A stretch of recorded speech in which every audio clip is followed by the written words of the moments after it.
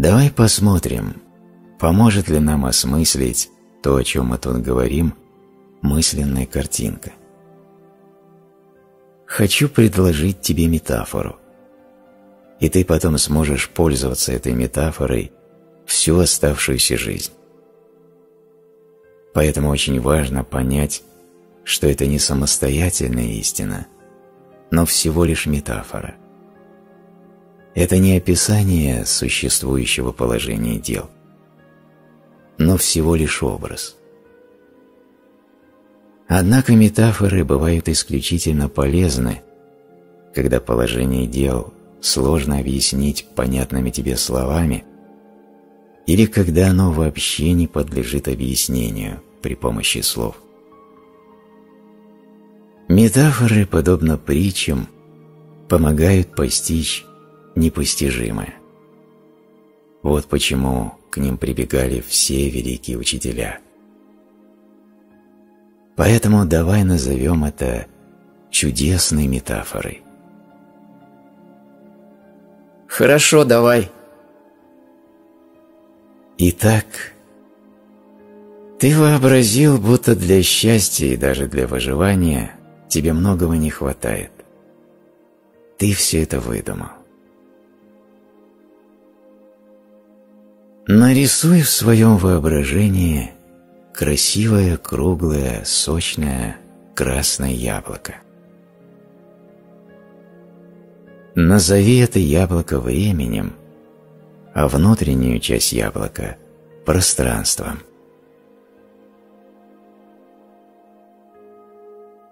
Мне сложно думать о внутренней части яблока как о пространстве, поскольку там слишком много плотной материи.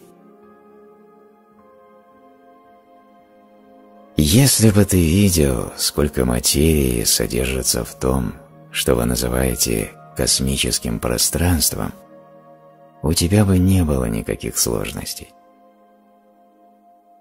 Пропорционально молекулы нашего воображаемого яблока – отстоят друг от друга столь же далеко, как объекты из плотного вещества в космосе. Ладно. А теперь вообрази, что ты очень-очень маленький микроб. Маленький, но тем не менее очень деятельный, который движется по туннелю в этом яблоке. Стенки туннеля из нашей метафоры – это коридоры времени.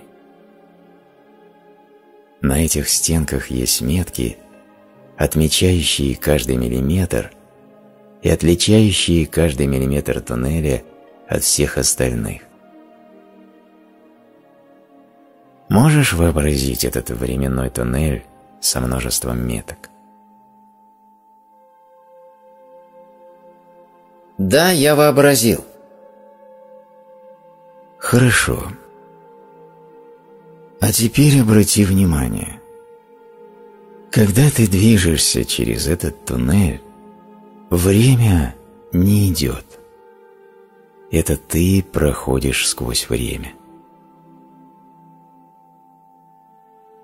О боже, я увидел! Ты говорил об этом раньше, но увидел я только сейчас. Эта мысленная картинка стоит тысячи слов. Она дает очень неожиданный взгляд на вещи. Полный концептуальный переворот. Задержи этот образ. Постарайся увидеть, что время никуда не движется. Время стоит на месте. Оно статично, стабильно, стационарно оно всегда пребывает в неподвижности. Где бы ты ни был во времени, это всегда сейчас. Путешествуешь именно ты. Ты движешься через время. Ладно, понял. Я удерживаю этот образ. Я двигаюсь через время –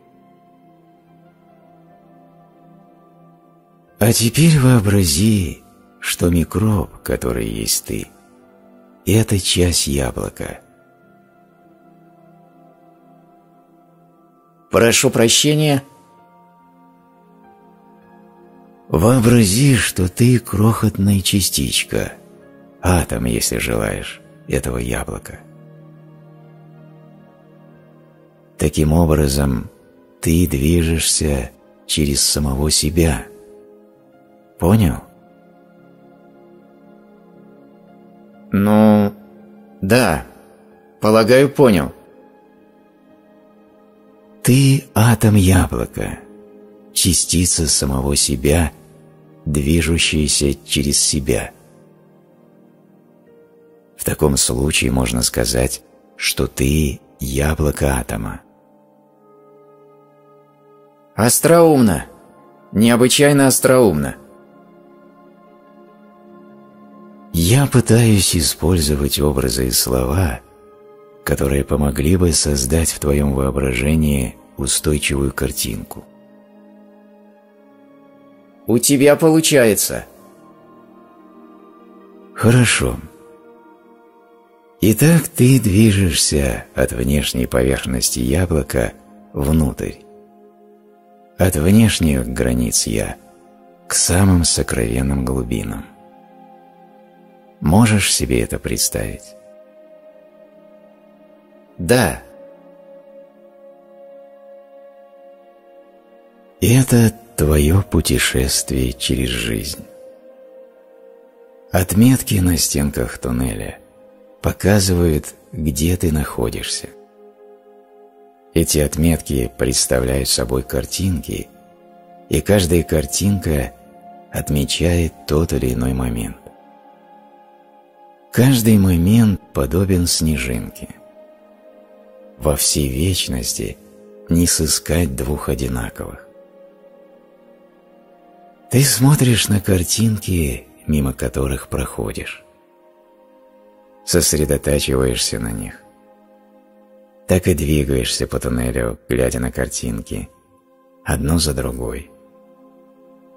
Наконец ты приходишь к центру яблока – это та цель, к которой ты двигался изначально. Конец данного этапа твоего путешествия. В некотором смысле я в этот момент умираю. Ведь именно тогда я умираю. Да, ты умираешь в этот момент. Ты прошел через физический мир и достиг сердцевины этой сферы, который объемлет все время и пространство. Это центр циклона, мертвая точка. И снова остроумно. И там я остаюсь навсегда, укутанный теплом сердцевины. Нет. Там тебя ждет определенный опыт. Частично я его уже описал и еще буду описывать позже. Затем выходишь из сердцевины и направляешься к противоположному внешнему краю пространственно-временного континуума, на другую сторону сферы. Так ты достигаешь другой стороны. Другая сторона. Но, конечно, интересная метафора. А ладно, и что же меня ждет на другой стороне? Иная реальность. Насколько иная? Совершенно иная. Настолько иная, словно яблоко превратили в апельсин. Именно это мы и называем духовным царством. И сравнивать его с физическим миром все равно, что... Не говори, я знаю. Все равно, что сравнивать яблоки с апельсинами. Видишь, я понемногу обучаюсь твоим играм в слова и образы. Молодец. Очень хорошо. Играй идеями, играй с ними. Пусть это никогда не превращается для тебя в работу. Играй идеями и жизнью играй. А еще играй с другими людьми, пока ты здесь. научись играть хорошо. Я отослал тебя в сад богов и дал целый мир для игры. Я сделал этот сад достаточно щедрым, чтобы всем всего хватало. Никто не должен голодать, а тем более умирать от голода. Никто не должен испытывать недостатка в одежде или в крови. Всего для всех достаточно. А кроме этого, ничего и не требуется для того, чтобы играть хорошо. Ничего больше не требуется для великолепного постижения того, кто ты есть. Ты вообразил, будто для счастья и даже для выживания тебе чего-то не хватает. Ты все это выдумал. Приблизившись к смерти, ты поймешь, насколько мало все это значит. Все. В момент выхода из физической жизни ты поймешь, что бороться было не за что. И тогда твоя долгая борьба закончится. Ты можешь прийти к этому осознанию когда угодно и закончить свою борьбу в любой момент. Данный опыт доступен не только в момент смерти. Если присмотришься пристально, то заметишь, что каждый день твоей жизни изобилует маленькими смертями и ты можешь использовать любую из них в качестве отправной точки для этого осознания.